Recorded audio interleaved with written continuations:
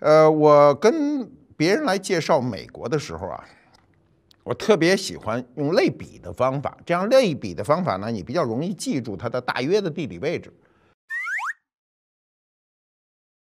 比如有人一问我说：“西雅图是哪儿啊？”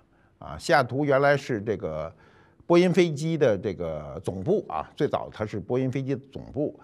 那么我就说西雅图就是啊美国的乌鲁木齐啊，这你一下就记住了，它在美国的西北边儿，对吧？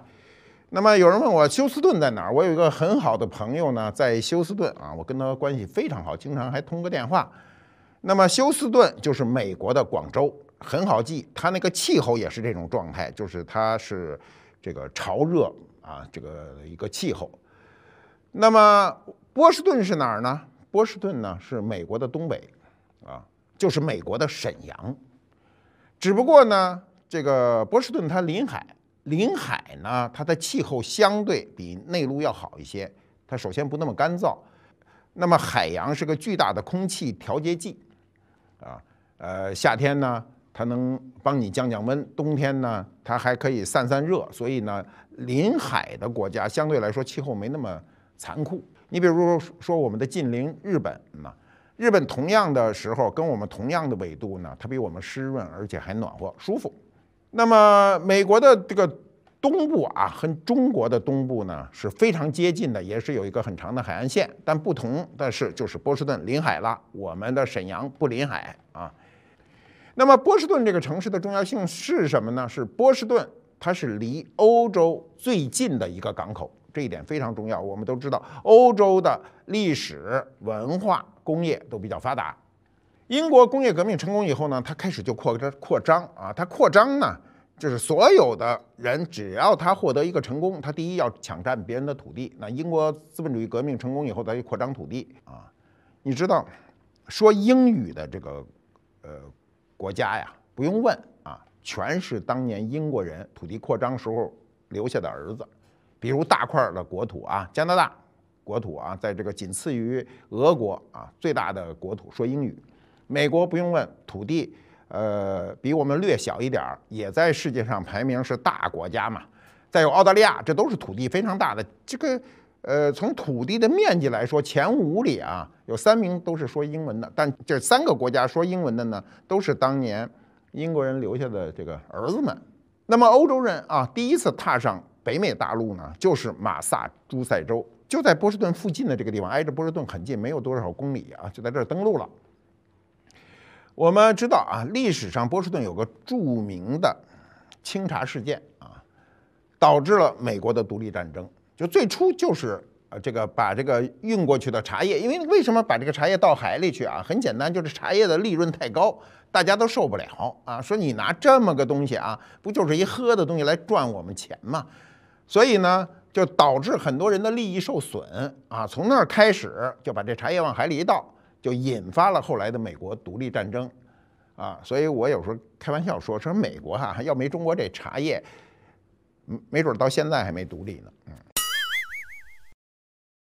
就是我们的茶叶的贸易为中国人赚了很多钱，当然也为很多商人，不一定是中国人，比如英国的东印度公司啊，荷兰的东印度公司，都因为这个茶叶赚过巨额利益。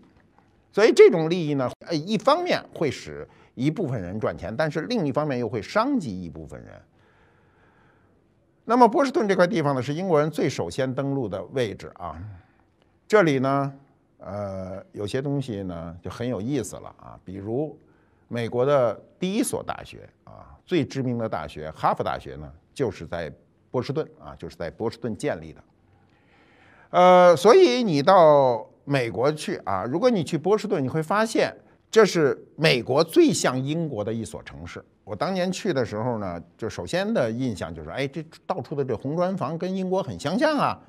它为什么跟英国很相像呢？是英国人到那登陆的嘛？就最初登上这块土地的都是英国人，他带去了英国的文化啊。英国人就开始在那儿建设呀，建设那图纸很简单，就是拿着英国的原封图纸就在那儿盖房了。如果说四百年前登上啊北美大陆的不是英国人，是咱中国人，我估计那地儿大部分都是四合院啊，或者是徽派的房子啊。或者是这个闽南的这种房子，他肯定是要带去自己的文化。那么英国人啊登陆这个波士顿以后呢，大概有一个半世纪的时间，一百五十多年以后呢，它正好是什么时候呢？正好是中国的这个乾隆时期啊，乾隆中后期，一七七六年啊，七月四号，这我们都知道是美国的独立日嘛，就是在英国人登上北美大陆，从波士顿这个地方登上北美大陆以后，一个半世纪，美国才正式宣告独立。就是英国人给美国人究竟带去了什么呢？在波士顿这所城市里，能看得很清楚，他给美国人带去了最有文化信息的一个环境。所以这个地方叫什么呢？叫新英格兰啊，就这一片啊，包括其他几个州，大概有六个州。波士顿呢，它有独特的口音啊，它的口音更接近于英语。你看这个文化就是这样啊。你最初来的人是什么？他不论隔了多少年，你看他到现在为止，英国人登陆到现在四百年，所以他还保留了这个英格兰英语中的这个一个特征啊。换句话说，它可以叫波士顿英语。它有点像我们中国哈，你看这个我们去浙江，浙江的语言语系非常复杂，你到哪儿都听不懂吧？唯独你到杭州能听懂。为什么杭州你能听懂呢？因为杭州都是南宋时期的北方人过去的，所以杭州那个话呢，呃，如果站在一个南方人的角度上看，那话有点不伦不类啊，就是它带有浓重的北方口音的一种南方话，这个特征呢叫文化特征。那么就就跟我们北京人一样，你看我说的这个，严格意义上讲，我说的是带有北京话特征的普通话。我说我还真说不了那标准的普通话啊，就是播音员那个说这个新闻联播那话，我说不了。为什么他咬文嚼字啊？我说不了。我说的这种话呢，占一个便宜，是因为普通话是以北京话为基础的，所以我们说起来你们听着还算这个这个容易。如果我说的过快，如果我再说一些土词儿，你可能就不懂了。英国人当然很认为自己非常有文化传统啊，但我们先说他这文化传统啊。不能跟欧洲比啊，欧洲的古希腊、古罗马都比它牛啊，但是它还是非常有文化传统。然后呢，它在工业化革命以后啊，工业革命以后呢，它建立一个充分的自信心。我们今天讲文化自信，文化自信，我们为什么今天敢讲这事儿呢？就是今天我们成为世界第二大经济体，我们有能力说这事儿了。英国人到了美国以后呢，觉得这美国实在没文化啊。啊，所以他就带去了很多英英国文化，但英国文化的扩张力是有是有限度的，因为美国当时国土非常大。美国的本土文化是什么文化呢？就我们大家知道的印第安文化，是吧？给你扭来扭去的啊，就是那种很原始、很质朴的一种文化。呃，去过美国的人都知道，波士顿这个城市是一个显得非常有教养的城市啊，所以波士顿呢就被誉为美国的雅典。你看，美国人要把自个儿往高了抬，他也不能说他是自个儿美国的什么，只能说美国的雅典啊，把这个欧洲最文明的地方搬出来，镶在这波士顿头上。在一六三五年，他建立了第一所美国的公立学校，是吧？叫拉丁学校。然后三六年，你看很快啊，就建立了我们人所皆知的哈佛大学。我们今天都知道，中国人哈，只要考上哈佛的都牛的不行啊！我记得前些年还有一本书叫《哈佛女孩》啊，你想想，这哈佛女孩多了，不这一个，就因为这是一中国的孩子考到美国去，考上了哈佛，让所有人都都羡慕。其实。这个波士顿旁边还有很多很好的学校啊，你比如耶鲁啊，耶鲁大家都知道，还有麻省理工学院。麻省理工学院很多人都不明白啊，就问我什么叫麻省理工学院？麻省理工学院实际上是个简称。美国没有省制，美国都是州制啊。麻省实际上是马萨诸塞州的简称，叫麻省。这一听就是中国人给译的。呃，严格说它叫马州啊，这个理工学院现在叫麻省理工学院。当年译的时候，这马马不分，马是二声，马是三声，所以他就写成了马省啊。现在都叫马萨诸塞州啊，写我这马字儿啊。但是呢，马省呢又写那麻字儿，所以很多人都闹不清楚，说这麻省理工学院跟这个马萨诸塞州理工学院有什么关系呢？他俩就是一个学校。由于波士顿呢是这个距离欧洲最近的美国的主要港口，所以它向外发展贸易呢，它就有便利条件，所以它就出口是吧？比如酒啊、鱼啊、盐呐、烟草啊等等，它就成为当时世界上最富裕的国际的商港。港口有很多种，一种是商港，还有这就是渔港，专门打鱼的，打鱼的人从这儿出港，做商呃经商的人不从这儿出港。那么。你有海上霸权，就一定掌握了啊，这个近代史上的这个主动权。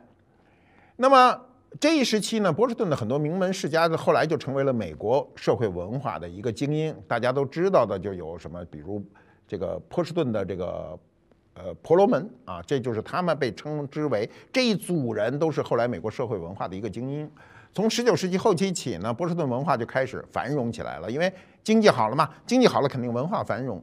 我们今天的经济好，文化就繁荣；经济不好，文化肯定繁荣不起来，没工夫先弄吃喝去。中国人呢，他缺乏一种海洋意识，是源于我们是一个非常的这个传统的农耕社会，农耕社会对海洋没有概念。第一，我们远海，离海就远啊。第二呢，我们是靠种地活着，靠种地发财。过去啊，有一个土话叫“丑妻近地破棉袄”啊，老婆孩子热炕头啊，这都是文化。你比如文化中，我们也有说“父母在，不远游”。什么叫“丑妻近地破棉袄”呢？就是老婆长得丑啊，踏实，干活啊，你出远门也不担心。近地是什么呢？过去的农民啊。有地，这日子就好过。这地离家远啊，不合适。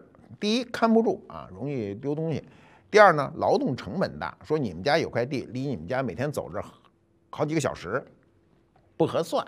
所以，丑妻近地破棉袄，这都是破棉袄。别看破，呃，遮风避雨。老婆孩子热炕头，是我们最向往的过去啊，在农耕社会最向往的一种生活状态。那么父母在不远游呢，就是啊一种文化理念，这种文化就有点害我们在近代史上。这种文化是使中国人很难走出去。你们注意看啊，凡是华侨盛行的地方，凡是愿意走出去到国外打拼的，都一定是沿海地区，对不对？我们的福建沿海地区。广东沿海地区，这个浙江沿海地区，这人都愿意往外走，但是一到内陆，那你就说百不足一二啊，跟人家没法比。我们除了明初啊，郑和下西洋，我们都知道郑和这个七下西洋啊，其他的时间呢就开始海禁，这海禁就是一次接一次的，开开一点就彻底关门，一关门就是一百年、二百年。所以呢，中国人就不注重啊，不注重这个海洋给我们带来的好处，我们。曾经有过海上霸权，对吧？我们多次讲过啊。郑和下西洋第一次团队出去的时候，两万五六千人，相当于今天啊，像美国的尼米斯航航空母舰出海的时候才六千人。我们当时的那个船队的光人员上讲是他四倍。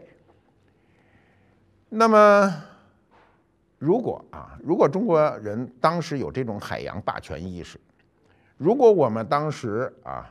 运用我们自己的海军力量，这个不停的扩张。那我们今天第一国土远不是这个样子。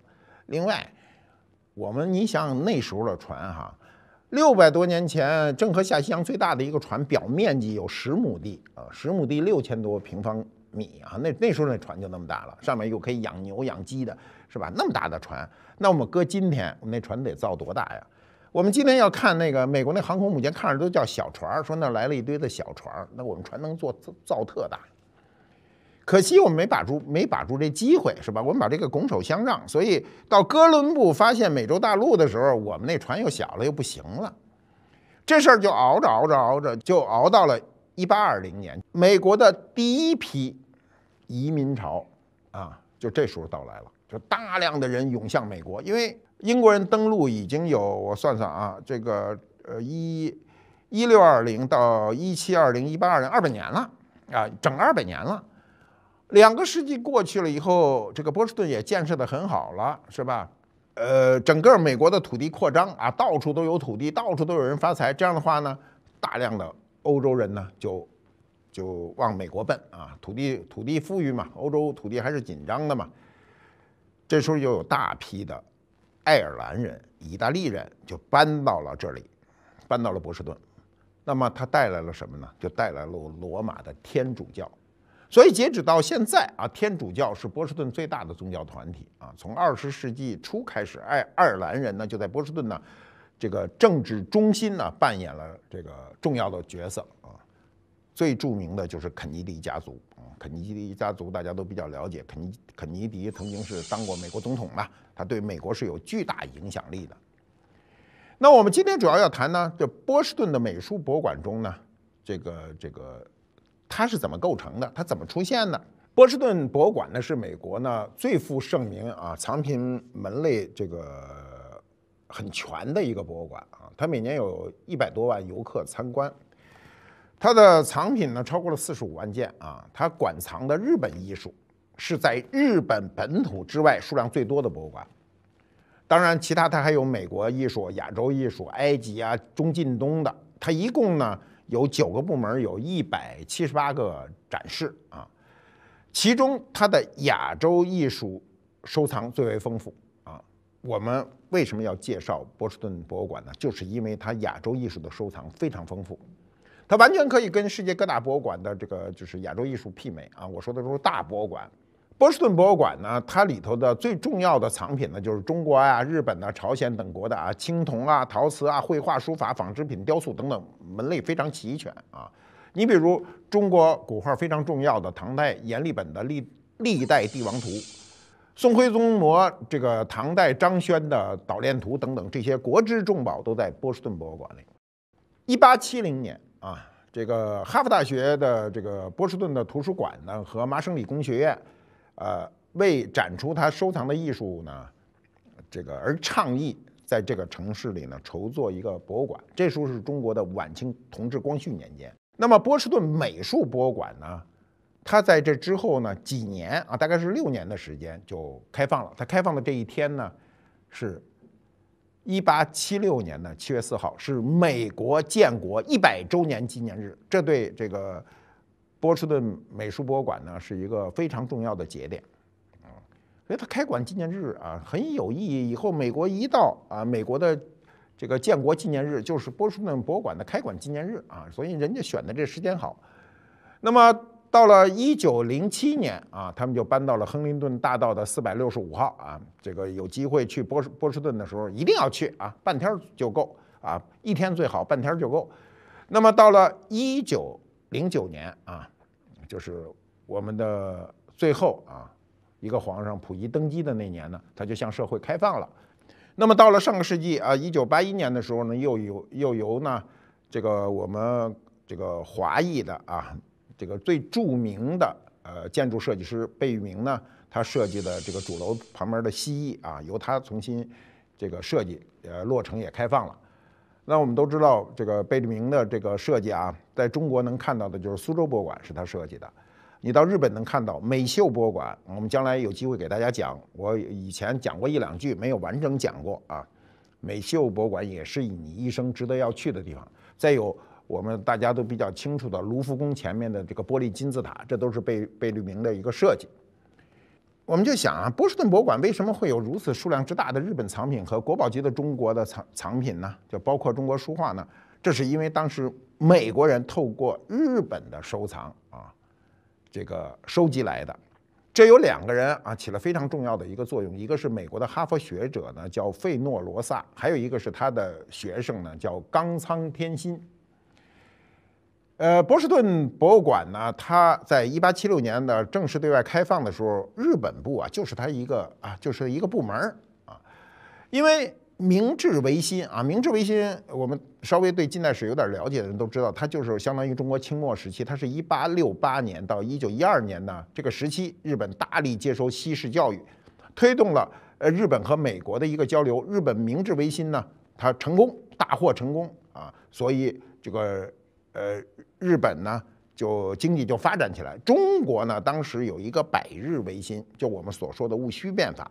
我们在明治维新之后，但我们的百日维新呢失败，失败，所以就按照我们过去的说法，就是我们就沦为了这个半封建半殖民地。十七世纪啊，就是三十年代末啊，相当于我们就晚明的时候呢，日本也是实行闭关锁国政策，政府呢关闭了所有的港口，驱除呢外国人啊，也禁止国人出境啊，违者就得处死。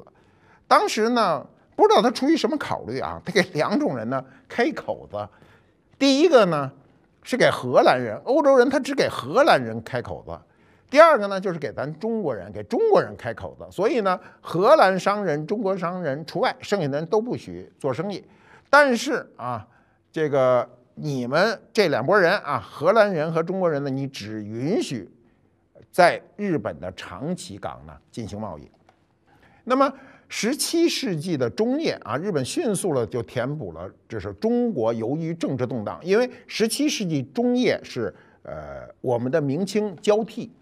我们的明清朝代一交替呢，政治动荡啊，经济都比较衰退。这时候这个口这个空子啊，让日本人钻了。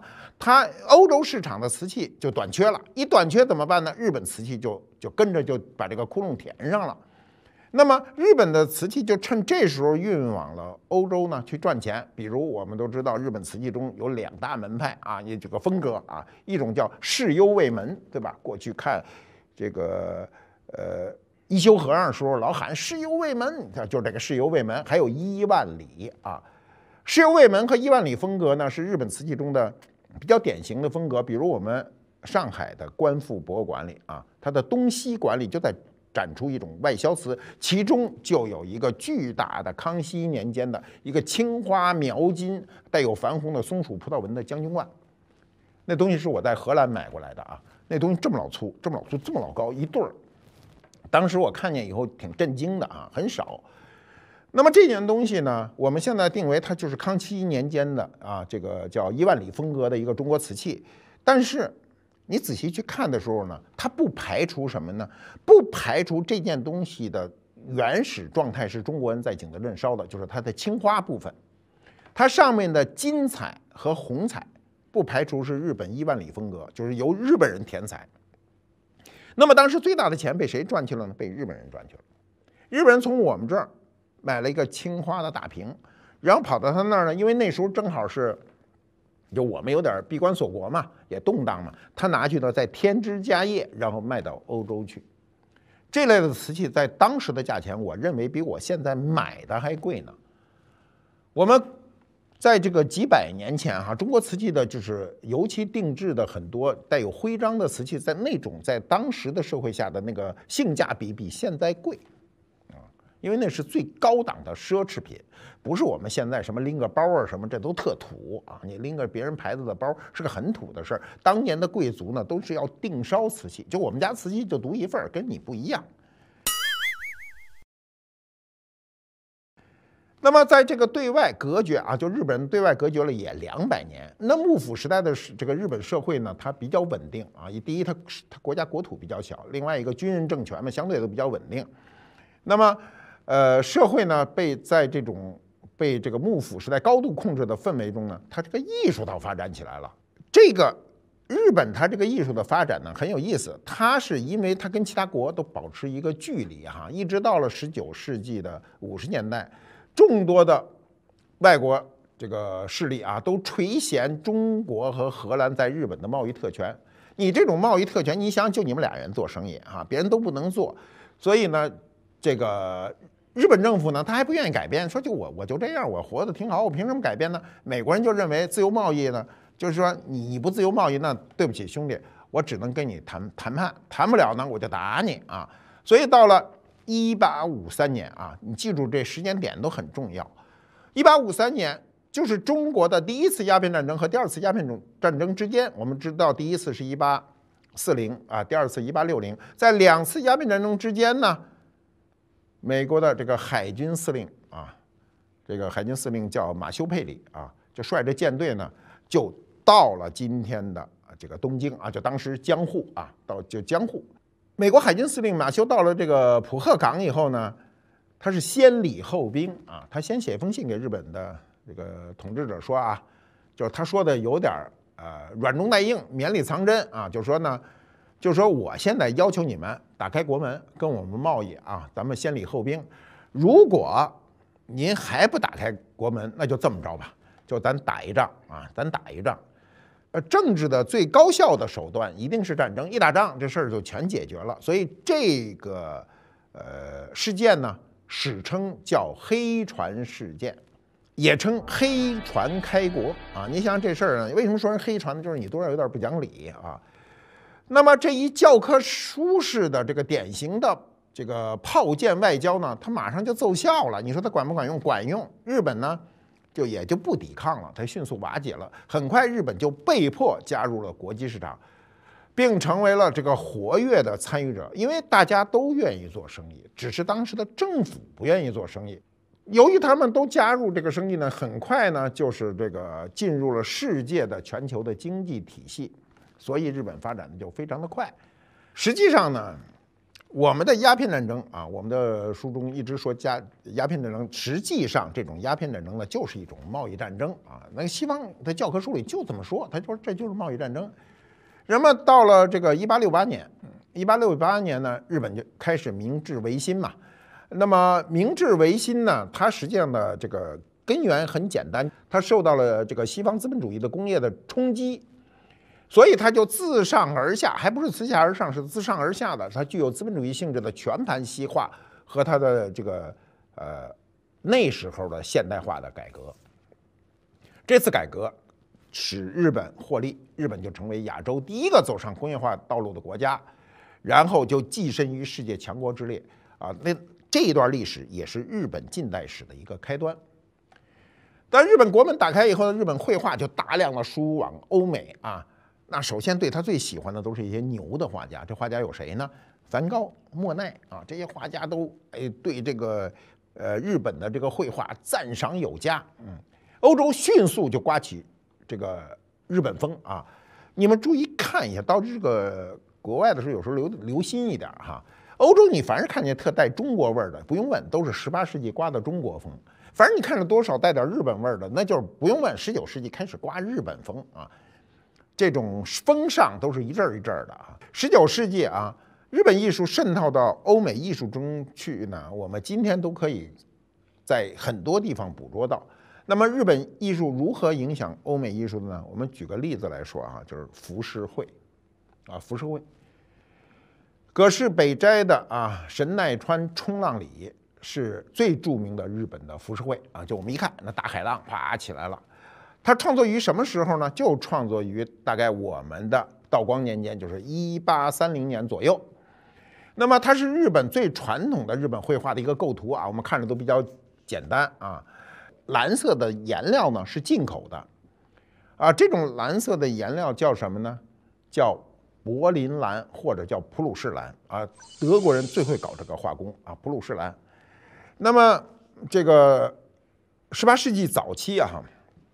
这个颜色是在德国合成的啊，就人工合成的。我们过去中国人画画都是天然的颜料，它没有合成的，所以它这种这个合成的呃颜料呢特别蓝，还耐久。当时呢，